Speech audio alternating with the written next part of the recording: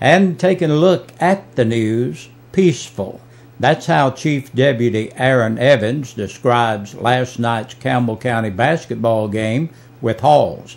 You may remember that a Knoxville man was handcuffed and taken to the county jail the last time these two teams played. That was back on January 13th at John Brown Gym. 27 year old David Austin Thomas of Knoxville was involved in a scuffle with police after the last Halls Campbell County game. Thomas was charged with disorderly conduct and will appear in Campbell County Court next Tuesday. Last night was peaceful to Evans, who tells WLAF that the Campbell County fans were respectful and classy. Evans adds that the school security officers from both school administrations coordinated their efforts. Evans says that Knox County assigned eight officers to the game. That's in addition to Evans, who was there along with some other plainclothes officers. Two hit and runs in the same day. First, just before lunch, two cars collided on Old Highway 63 east of La Follette at Glade Springs Road. Sheriff's deputies explained to Channel 12 that the driver of one car was taken to the La Follette Medical Center with non life threatening injuries. The other driver bolted from his car and ran. Sheriff's deputies are still looking for the man. WLAF's David Graham was on the scene of another hit and run right before 3 o'clock this afternoon. Graham says that three vehicles were involved in an accident on the four lane in La Follette near Hunters Branch Road. One woman was taken to the La Follette Medical Center with non life threatening injuries. Witnesses tell WLAF that a driver in a late model black Chevy pickup sped away from the scene. La Follette police are investigating. Tennessee's smoke free and Kentucky may soon be. If you're used to smoking in public places when you visit neighboring Whitley and Bell counties, you may soon not be able to do so. Lawmakers in the Bluegrass State are discussing the possibility of making restaurants, workplaces, and other indoor sports smoke free. Officials with Kentucky Voices for Health say the policy champions a single goal to improve the health of all Kentuckians.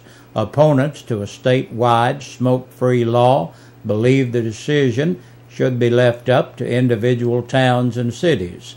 Estimates are that one in every four adults in Kentucky smoke. Another compelling byproduct of a statewide smoke free policy is a sizable savings on health care costs. The state of Tennessee has been smoke free in public places since October of 2007. Construction continues at a La Follette Health Care Facility. WLAF's David Graham files this report from Cumberland Village Care and Rehab Center on Davis Road. There's lots of construction going on at the Cumberland Village Care and Rehabilitation Center behind the Long John Silvers. New additions are being built and the employees and residents are very excited about. Sharon and I were invited to have lunch down there the other day and we got a tour of the new facilities that are being built. Right now they have 18 employees with 182 beds and after the renovations and additions are complete, they will have the same number of employees and the same number of beds, but they will be brand spanking new and lots more room for the residents. Administrator John Boumers and Karen himself, who's assistant director, are very excited about the new additions, and rightfully so. They are scheduled to be done by May the 2nd of this year. I know the overall project that they're working on, you're looking at May May the second is our completion date completion for date at this point. Wow. Some of the work will be completed sooner, but again, the entire renovation should be done by May the 2nd. Now, they took us to the rehab and recovery suite. They will have 18 new rooms, and four will be private rooms. They're very nice, and of course, they will have the latest in facilities such as private bathrooms and even private televisions. They will have walking trails outside the new facility, and they will be all different terrains to help the patients rehab in a more real environment. At one end, they will have a complete workout room with the latest in workout equipment. Offices will be off to the side for the therapist to use. A full glass front will enclose the front of the workout area, and they even have Wii games to help patients with their rehab and recovery. So although it's work, it's still a lot of fun for the patients and therapists alike. Now they have bake sales to help raise money for all these things, and they really do appreciate the support of the community. This is David Graham reporting from Cumberland Village Care and Rehab Center for WLAF TV 12. Cumberland Village is on Davis Road behind Rainbow Ford. And we close this evening on an upbeat note. Cougar Sports. First, it is National Signing Day for college football hopefuls and a Cougars college bound. Campbell County High lineman Logan Hunter signed this afternoon to play for the Tusculum College Pioneers. Probably one of the most important days of my life. Uh, today at 7:40, I signed to go to Tusculum College. Cougar coach Justin Price tells WLAF that one of the skills the Tusculum coaches like best about Hunter is that he finishes his blocks. The Cougar football season begins August 17th with Seymour at home. The complete 2012 schedule for the Cougars is found on our web channel, 1450WLAF.com. Congratulations are in order for the Campbell County Lady Cougars basketball team. Coach Ryan Browning's squad clinched their regular season district title last night. A 53 to 32 win at Halls improves the Lady Cougars to 19 and 5 on the season and a perfect 13 and 0 in District AAA. The Lady Cougars have three more games in the district before the tournament begins the week of the 13th at Oak Ridge.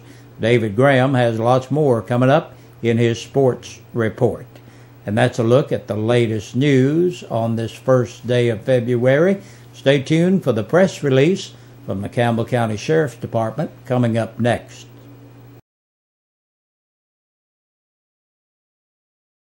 Time now to check the activity around the county from the past 24 hours with the Campbell County Sheriff's press release.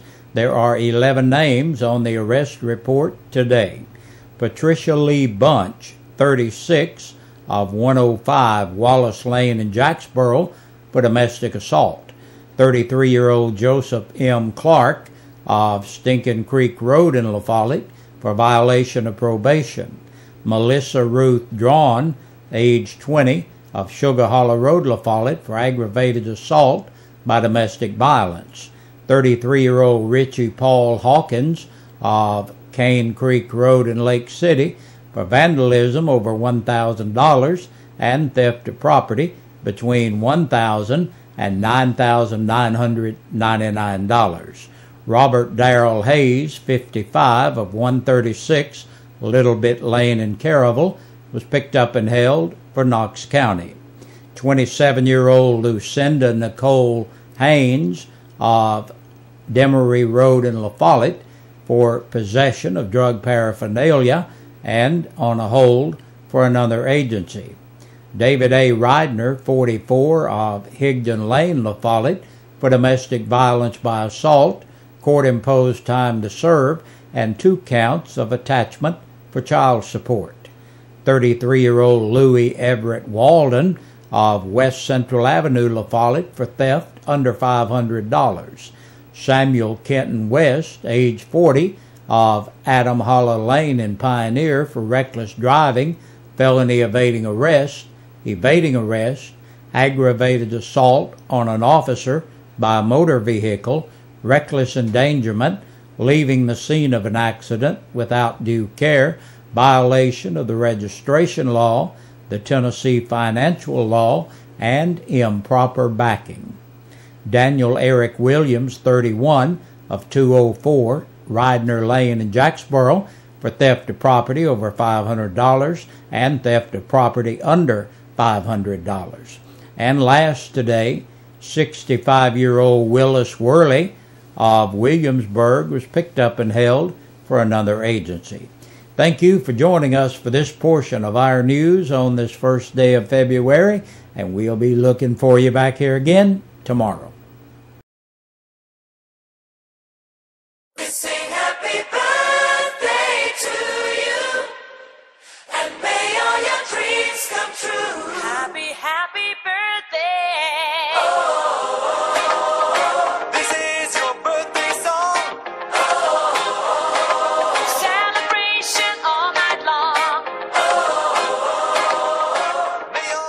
Good February 1st, everybody. Welcome into your birthdays and anniversaries brought to you by Eastside Pizza and Deli and WLAF. So you're celebrating a birthday and anniversary today. Roger Wood starting off our birthday list today. Jim Jimbo Ferris Jr. celebrates a birthday today. Got a belated birthday back from Monday. Julia Ayers, nine years old, back on Monday. And Sherry McCamey celebrates a birthday today. Happy birthday to all of you. Hope you're having a good day. Also, we, uh, well, I thought we had some anniversaries today, but I guess we don't. So if your birthday or anniversary are sometime this week, you need to get in your information here to the station before early Friday morning. That's when we'll have the drawing for two free buffet dinners, both for the uh, birthday side and the anniversary side. So I guess you can look at it as four, uh, two, uh, four uh, free buffet dinners from Eastside Pizza and Deli. So uh, you need to get in your information here, 562 1450. 566 1450 or 562 3557. You can email it to WLAF at bellsouth.net. If you want to fax it, you can do it that way. 562 5764. And that does it for our birthdays and anniversaries today. Hope you guys have a good evening. See you back here tomorrow.